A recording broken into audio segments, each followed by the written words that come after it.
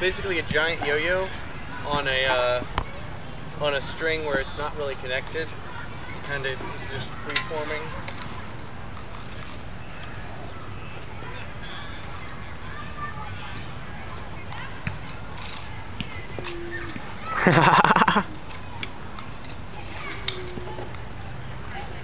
So it's not connected. No, it's not connected. It's just if you uh, look closely, it's just spinning. It's got a one-way bearing. And it's still and it's still spinning. Yeah. Wow. mm-hmm. Yeah, it'll uh, spin Wow. for a while. You can get it going. You can get it buzzing, and then you can like. And it's still spinning. Yep. Wow.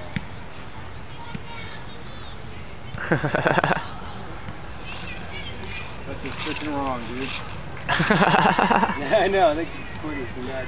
Now you could you could probably walk the dog with a yo-yo too, huh? I'm actually no good at yo-yos. really? That surprises me. Me too. Wow. With, with Diablo. Yeah. Um, there are people that are really good with two of them. Like they can get two of them on a string. and do some crazy stuff. Uh, you got suicides is where you throw uh, one of the sticks.